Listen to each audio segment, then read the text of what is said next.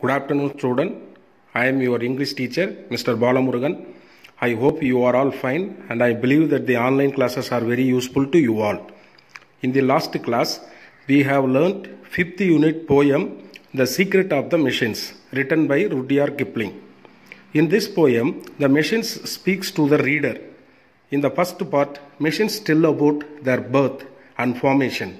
In the second part, the machines tell about their functions in various fields. In the third part, the machines tell about their nature and wants the handlers. In the final and fourth part, they speak about the pollution caused by them and tell they are man made. This is what we learned from that lesson. Today, we are going to learn fifth unit supplement reader a day in 2889 of an American journalist written by Jules Verne. Let's see about the author. Jules Verne, 1828 to 1905 was his time period, was a French poet, playwright, and novelist, but he earns his place on this list of great writers because of his futuristic adventures novels. He had been called the father of science fiction and has had an incalculable influence on the development of science fiction writing. More interesting, perhaps, is his place as a prophet or predictor of technology, which wasn't to be invented until long after his death. He put a man on the moon, including its launch from a Florida launch pad to its splashdown in the Pacific in 1863. He predicted the internet, Paris, in the 20th century, 1863, depicts the details of modern life skyscrapers, television, Maglev trains, computers, and a culture preoccupied with internet. The synopsis of the story A Day in 2889 of an American journalist is a fiction story. Fiction means imaginary.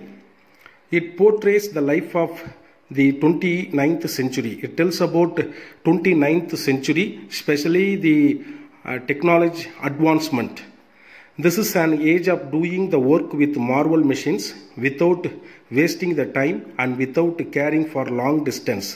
Mechanized bathroom, dressing room, sky motor car or aero car, tube travel, which means a submarine train, speaking newspapers, not reading newspaper, speaking newspaper, etc. are included in this lesson. In shortly, I can say that this story is famous for talking about future and new inventions.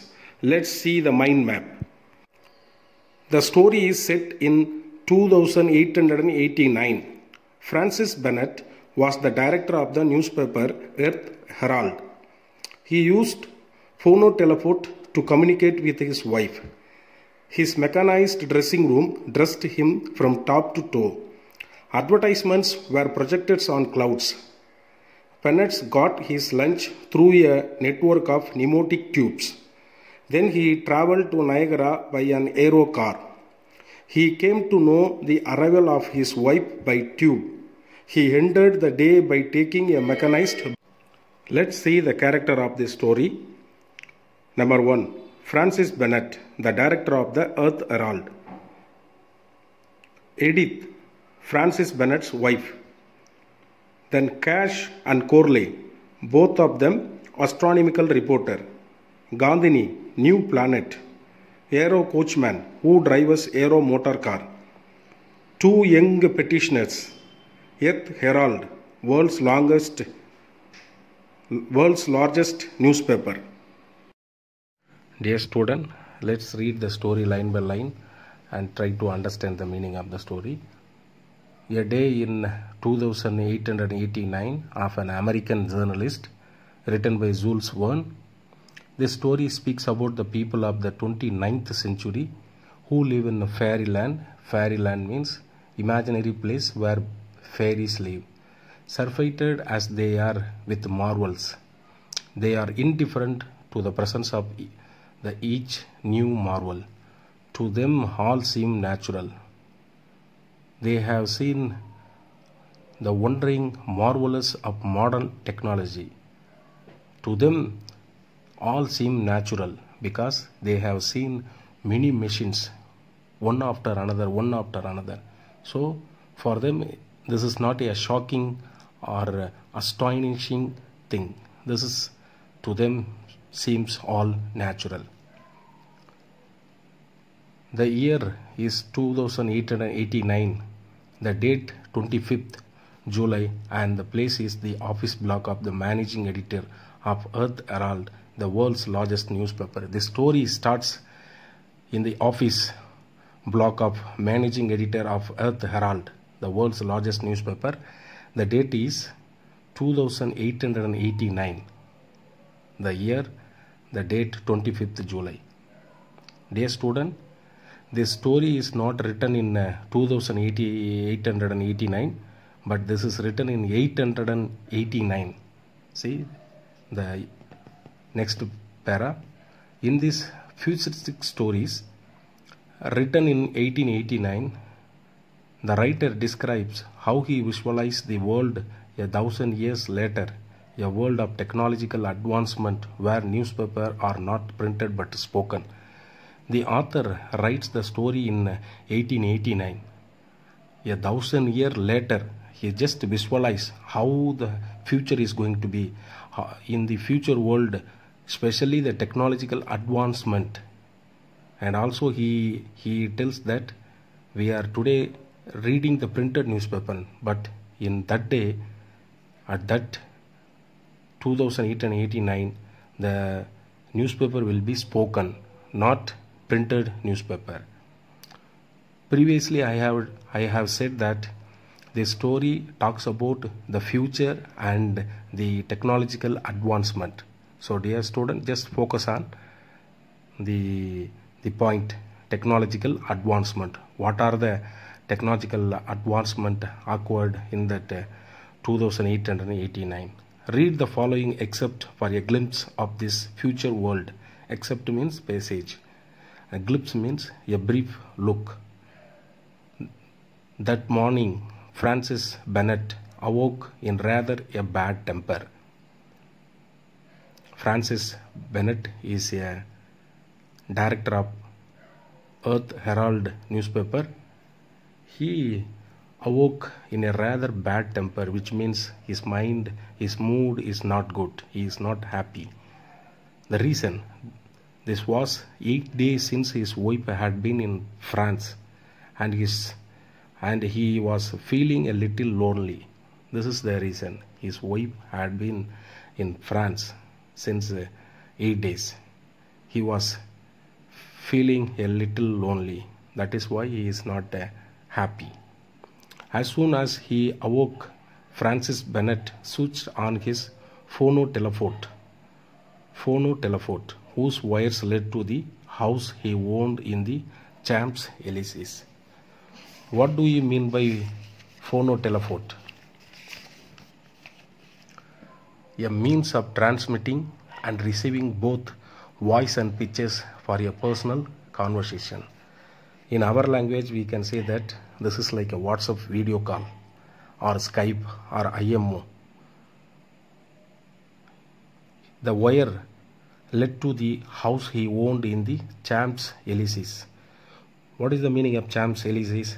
A prestige avenue in Paris, famous for cabs, cinemas, and shops.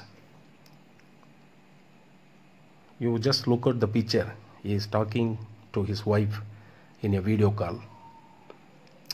This is also technological advancement, but in our days, 2000 itself, we are seeing 2020 itself or 2000 itself we are seeing these uh, new inventions.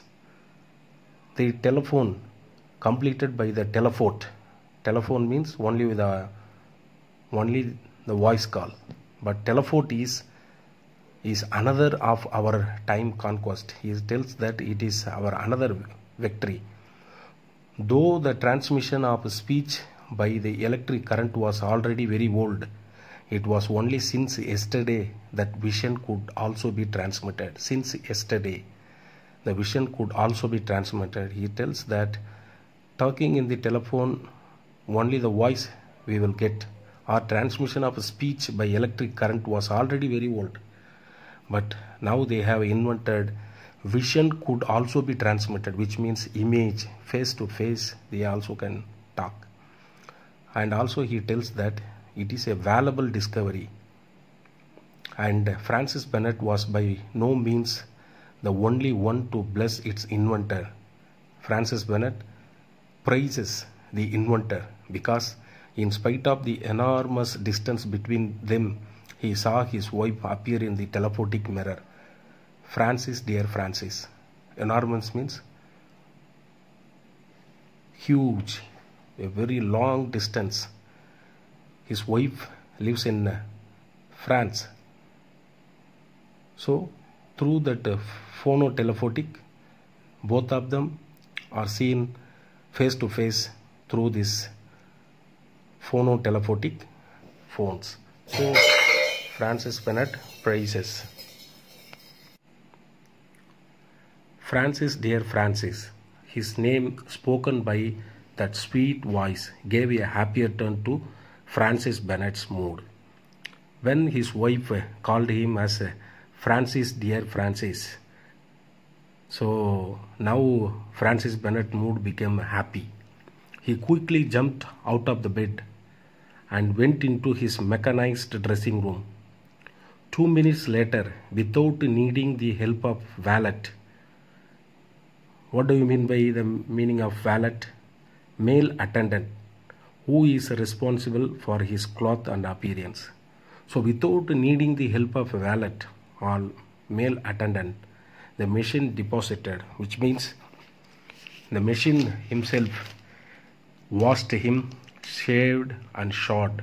Washed means that gave him bath, shaved means that shaved his mustache and beards, and shod means that put on his shoes and dressed and buttoned from top to toe. On the threshold of the, his office, the day's work was going to begin. So the machine took to the threshold of his office. Threshold means the entrance of his office. So Francis Bennett now he got ready. The day's work was going to begin. Francis Bennett went on into the reporter's room.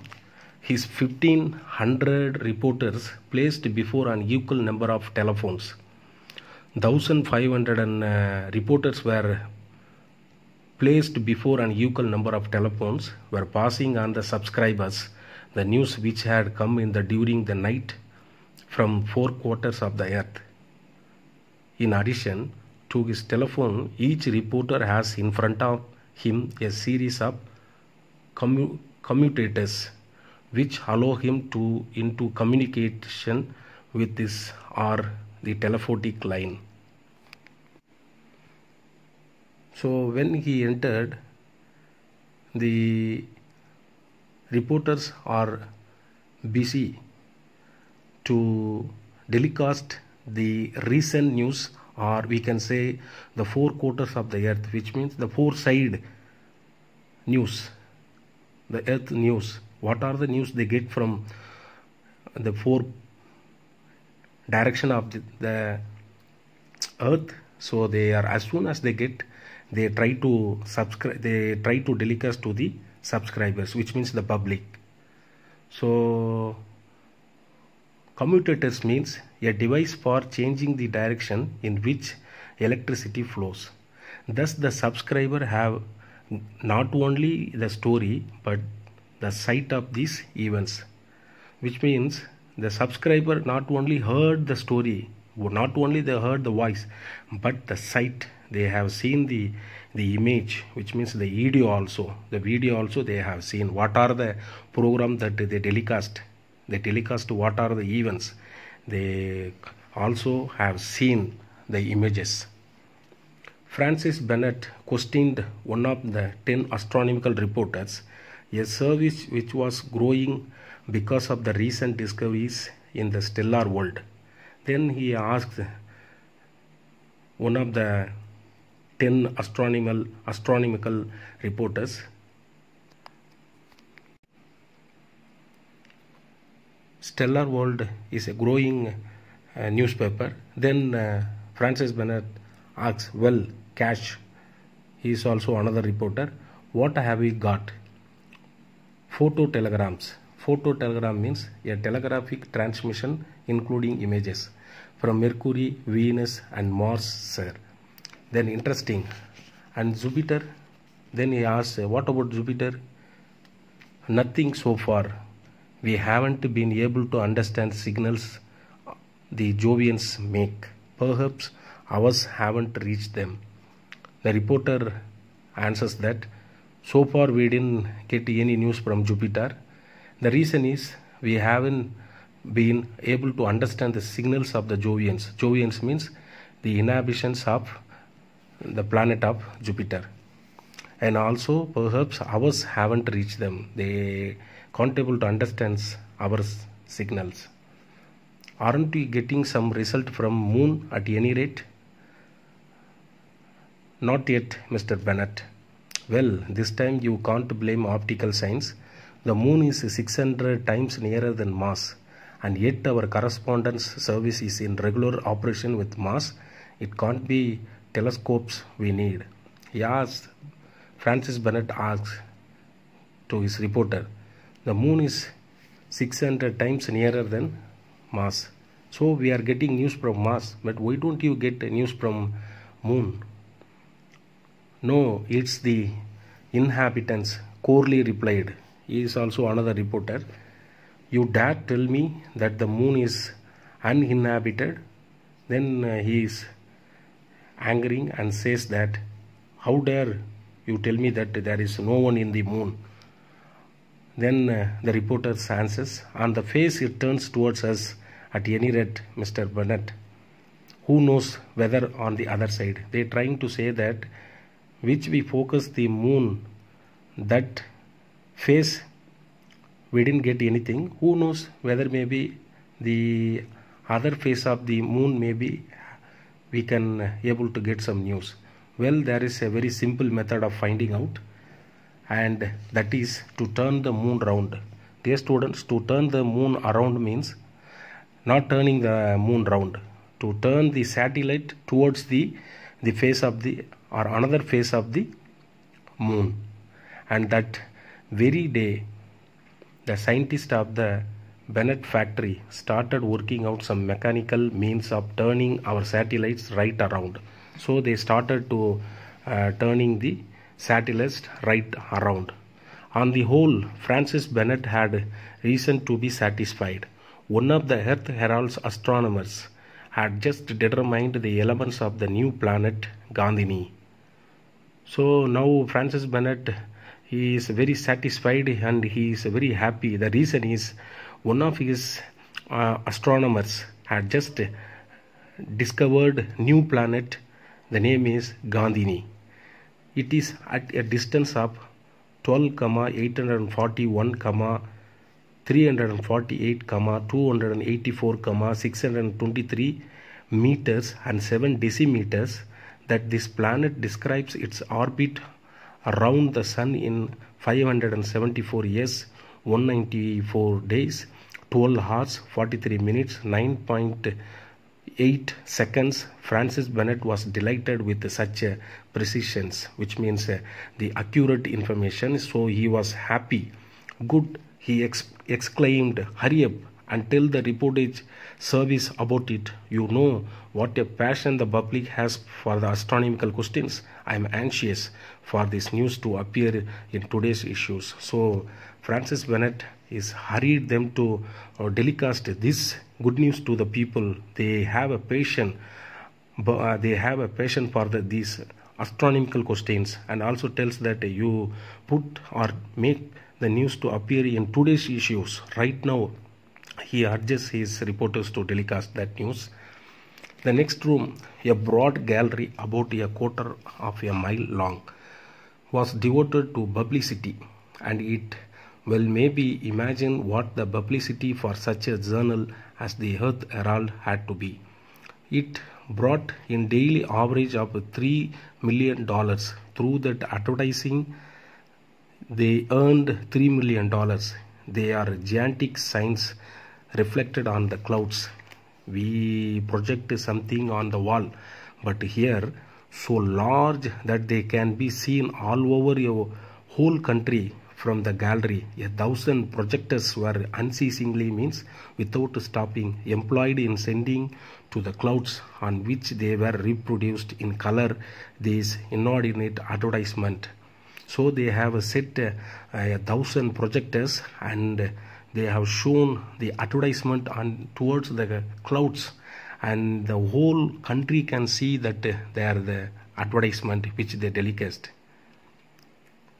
At that moment, the clock struck 12.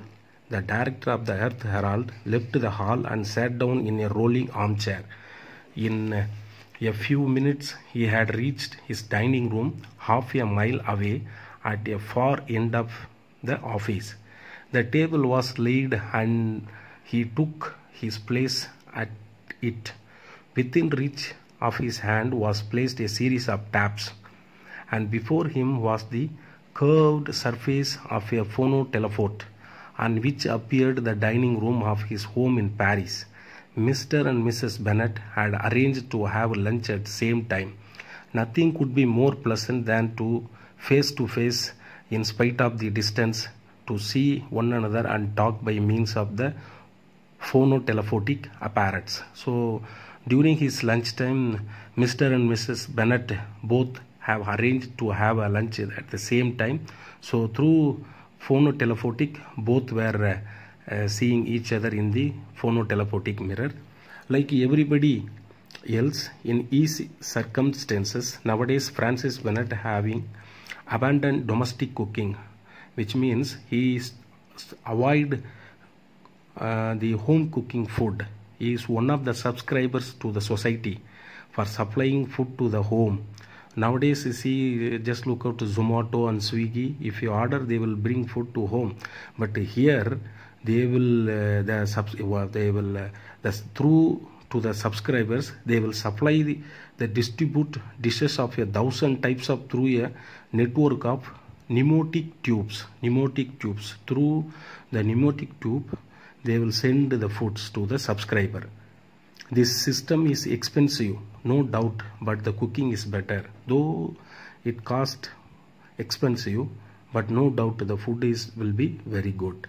So not without some regret. So without making delay francis bennett was lunching in solitude. He is eating all alone he was finishing his coffee when mr Bennett, having got back home appeared in the telephone screen. Again he he was trying to uh, see his wife through the phonotelephonic when he had finished his lunch he went across to the window where his aero car was waiting. Aero car is uh, which will travel through the sky not in the road where are we going sir? Asked the aero coachman. The one who drives is called aero coachman. So he asked where do we going sir? Let's see. I, I have got time. He tells that i have time. I'll tell you. Then he tells that francis Bennett replied take me to my accumulator works at niagara. Our work is going on at niagara so you take me to there. I want to supervise there.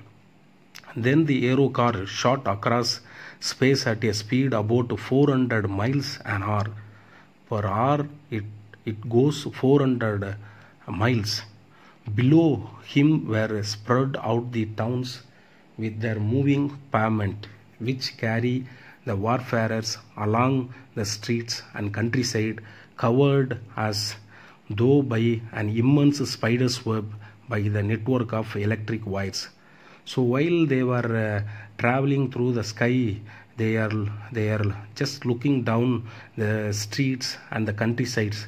And it's like a moving pavements and also they tells that the electrical wire uh, immense as a spider's web. They are trying to explain that one. If you look at the picture you can understand. So electrical wires uh, resembles as a spider's web.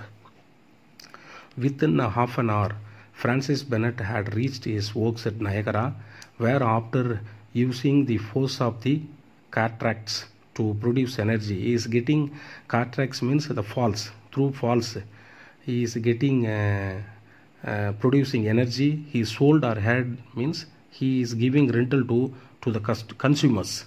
Then he returned by the way to, of Philadelphia, Boston, and New York to Centropolis, where his aero car put him down about 5 o'clock. So his aero car dropped at Centropolis at 5 o'clock.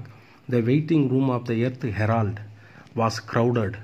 A careful lookout was being kept for Franz Bennett to return for the daily audience. So the, his uh, waiting room was very crowded, and uh, those who are waiting there they are eagerly waiting for the Francis Bennett arrival. And Francis Bennett to return for the daily audience, he gave his to his petitioners among their different proposals. He had to make a choice, reject the bad ones, look into doubtful ones, and welcome the good ones. He soon got rid of those who had only useless or impracticable schemes. A few of others received a better welcome, and foremost among them was a young man whose broad brow indicated a high degree of intelligence. He chooses a person's Sir, he began, though the number of elements used to be estimated at 75, it has now been reduced to 3, as no doubt you are aware. He tells that uh, you know it, sir. Perfectly, Francis Bennett replied. Well, sir, I am on the point of reducing 3 to 1. If I don't run out of money, I will have succeed in 3 weeks. If I if I have money, I will uh, succeed within 3 weeks, he tells the young man. Then and then he asked then if you and then after uh, discovering that what you will do? Then sir i shall uh, really have discovered the absolute and the result of that discovery what will you do? Francis bennett asked.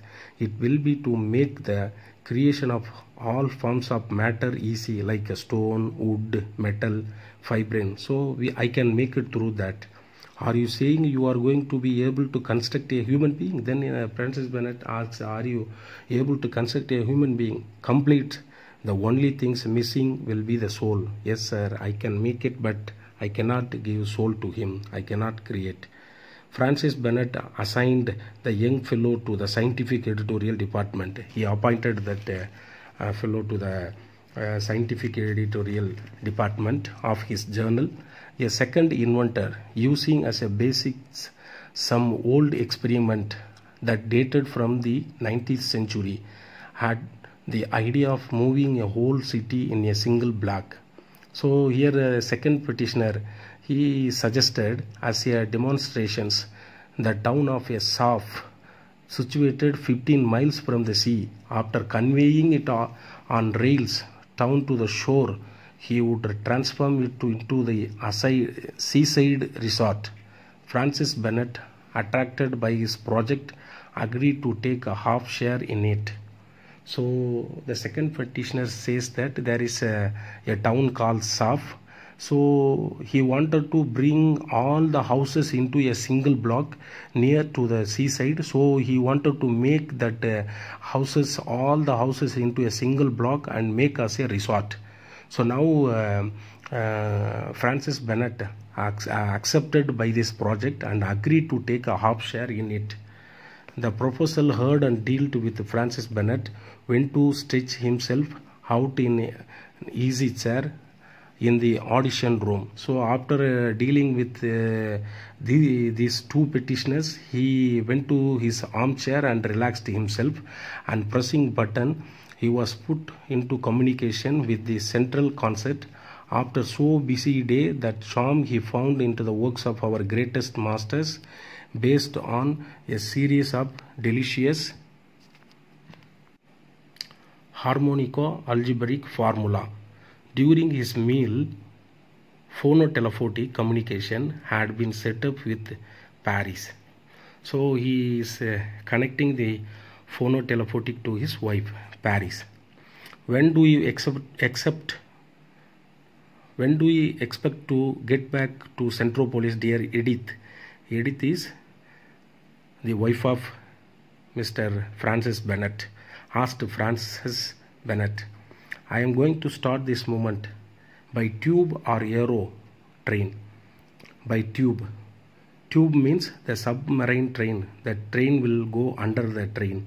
Uh, sea then you will be here at 11:59 this evening paris time no no no centropolis time his wife replies goodbye then the uh, and above all don't miss the tube these submarine tubes by which one travels from paris in 295 minutes are certainly much preferable to the aero trains which only manage 600 miles an hour. Francis bennett very tired after so very full a day decided to take a bath before going to bed. There was always a bath already in the office. He touched the button a rumbling sound began the watering sound. Got louder increased then one of the doors opened and the bath appeared gliding along on its rails. This is how the story ends dear students. Dear student don't uh, confuse. Just this is a, an imagination story science fictions. This is written by jules verne. In this lesson he just trying to bring the technological advancement in the year 2889 actually this story is written in 889 he just imagines a thousand year later what are the ad- technological advancement will come. See we have seen that uh, phonotelephone and also mechanized dressing room without a, a servant that machine gave him bath and shaved and put on his dress and show and put on his footwears. Then uh, we have seen that they have uh, uh, telecasted the advertisement on the on the clouds. They have uh, uh, discovered a new planet. And also and also this author is getting food through the uh, pneumatic tubes and we have uh, read that sky motor car and tube travel. The train will uh, travel under the sea and uh, spoken newspaper. So these are the uh, technological advancement will occur in 2889 dear student listen carefully the video and do the assignment